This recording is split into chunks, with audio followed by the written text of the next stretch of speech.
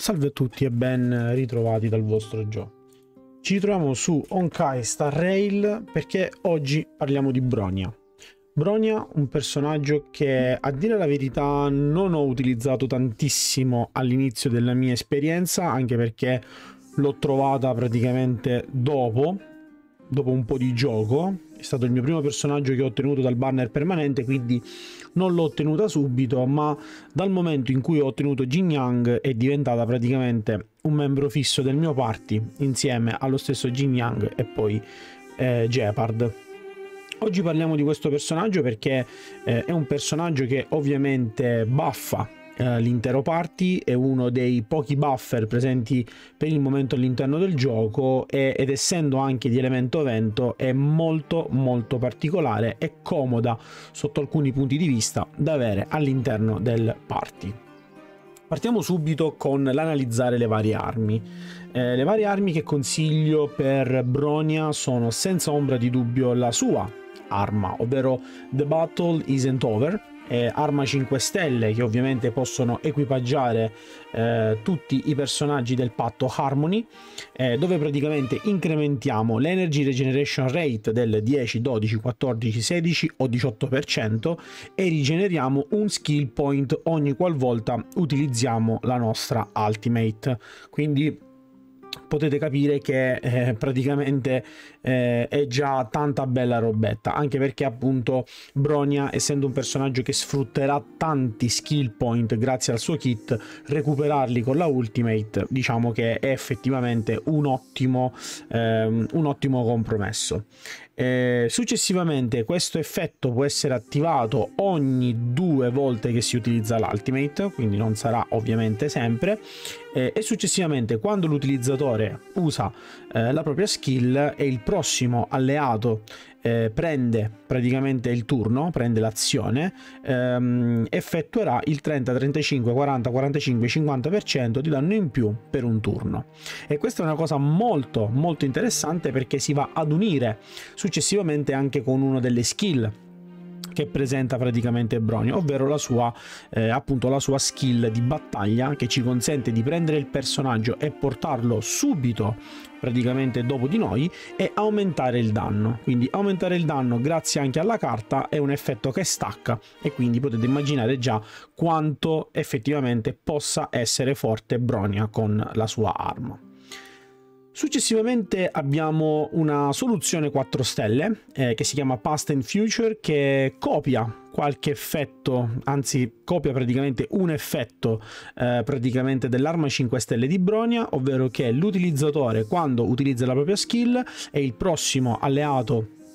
eh, prende l'azione eh, effettuerà danno incrementato del 16, 20, 24, 28 o 32% per un turno. Quindi diciamo che questa è probabilmente una delle Lightcon migliori 4 stelle che si possono ottenere per Bronia, anche perché è una Lightcon che si ottiene free to play, dato che possiamo ottenerla praticamente con i frammenti del eh, Forgotten Hall, quindi completando man mano gli stage avremo i frammenti per ottenere eh, questa carta e ovviamente potremo ottenerla anche dai boss settimanali se abbiamo un pizzichino di fortuna in più.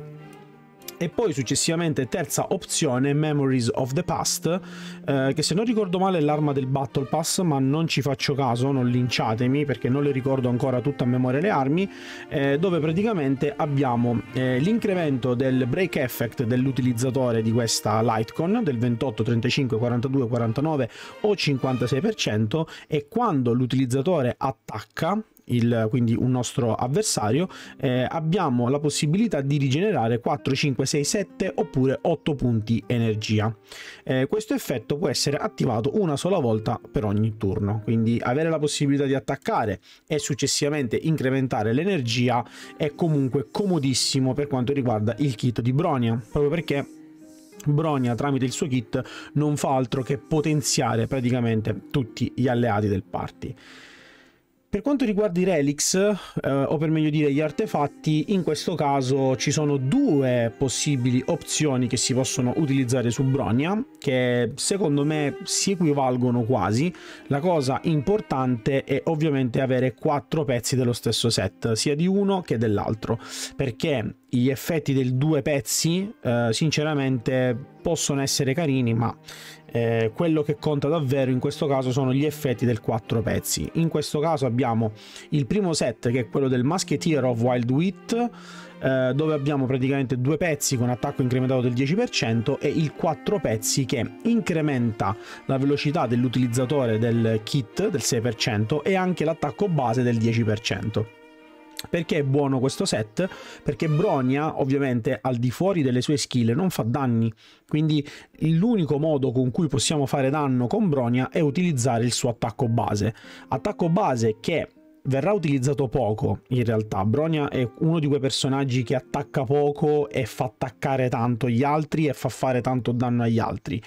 ehm, far attaccare Bronia con l'attacco normale è un evento più unico che raro, però soprattutto all'inizio del gioco e nelle prime fasi di gioco probabilmente questo set è quello migliore per poter accompagnare il personaggio, perché comunque ci ritroveremo in un modo o nell'altro ad attaccare normalmente e quindi con questo riusciamo a fare anche un po' più di danno senza considerare il fatto che uno dei tratti che poi sbloccheremo del personaggio di Bronia ci consente di ottenere crit rate del 100% con i suoi attacchi di base. Quindi avremo comunque modo di fare dei buoni danni anche eh, utilizzando appunto l'attacco normale. Secondo set che invece è un po' più particolare e un po' più specifico probabilmente per il personaggio di Bronia, ovvero l'Eagle of Twilight Line, dove abbiamo i due pezzi che incrementano i danni vento del 10%, dato che lei appunto è di elemento vento, e i quattro pezzi che invece una volta utilizzata l'Ultimate, l'utilizzatore di questo kit avanza la propria azione del 25%, quindi ci consente comunque di andare più veloci e quindi recuperare turni o recuperare praticamente posizioni per permettere ad altri personaggi di fare del danno. Quindi è molto comodo questo set su Bronia perché la ulti ci consente di buffarci, di potenziarci e inoltre ci sposta in avanti, quindi possiamo continuare a fare ovviamente il nostro gioco. Mentre invece per quanto riguarda il planar set, assolutamente Fleets of the Ageless, the Ageless eh, dove praticamente abbiamo eh, l'incremento dei massimi HP dell'utilizzatore del 12% e se la nostra speed raggiunge i 120 abbiamo un attacco incrementato per tutti gli alleati dell'8%. Questo ovviamente è un ottimo set per lei perché lei comunque aumenta un, scala abbastanza bene su HP, anche se lei non ha skill che scalano su HP, ma i suoi HP di base sono molto alti, non ha una grandissima difesa, quindi cercare comunque di aumentarle gli HP non è affatto male. Ma qui ovviamente il bonus migliore è senza ombra di dubbio il fatto di incrementare l'attacco a tutti grazie alla sua velocità, velocità che rende Bronia importantissima all'interno del party. Successivamente per quanto riguarda le main stats da cercare, ovviamente per quanto riguarda questi equipaggiamenti, a parte la testa e le mani che avranno comunque HP attacco sempre a prescindere, abbiamo il body